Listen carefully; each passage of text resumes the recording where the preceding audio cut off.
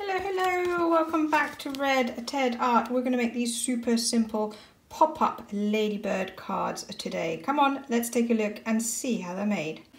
So to make our ladybird pop-up, you mainly need red paper, a little bit of black, but you can use a black pen, um, glue stick, scissors, pencil for tracing, something round to trace, and then some scrap papers for eyes and any embellishments like um, these little daisies I made. So that's just, uh, as you can have a look, that's just white, you, you know, white paper, little flower, and then a yellow dot paper cut out and stuck on top with a line.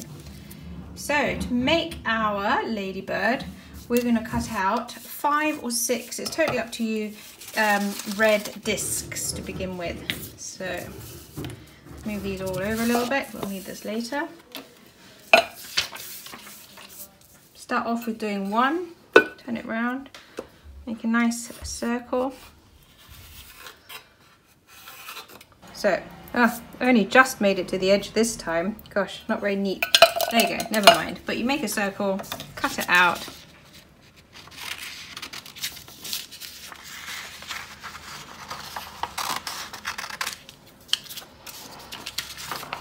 and then cut out another five or six. I think I'm going to do six. Actually, no, let's do five.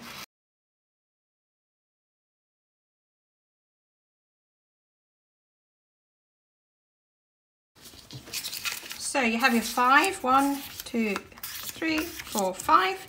Now you need to fold them all in half.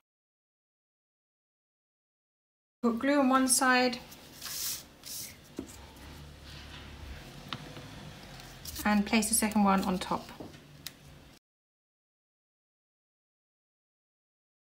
Next you'll need some spots and a face for the um, ladybird.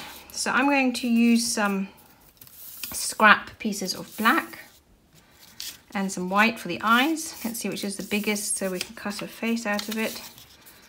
I think that might be just about big enough. You can um, also you know, color this onto the card straight away if you, if you prefer.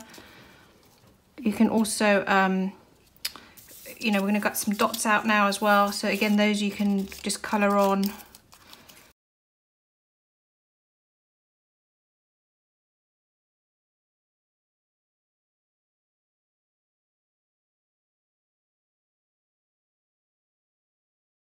So I have my components some flowers, some eyes, some dots, and the face.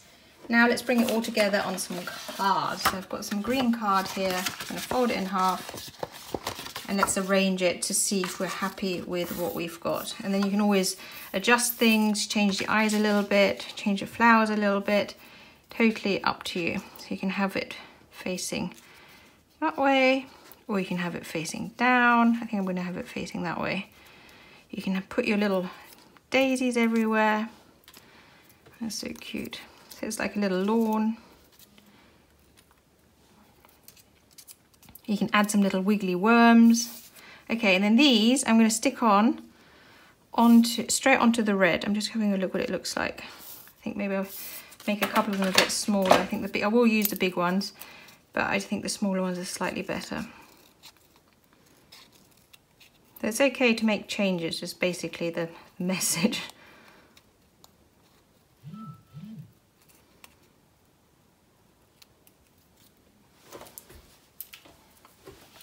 So the first thing I'm going to do is start assembling my ladybird.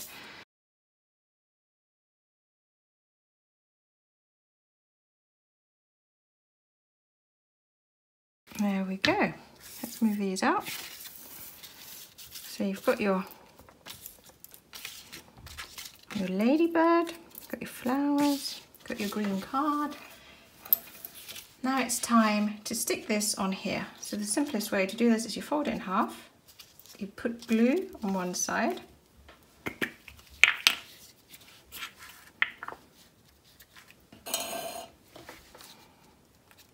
and all the way on the head.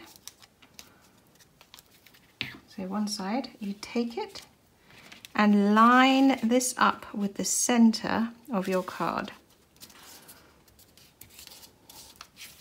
It's lined up. Now you put glue on this side.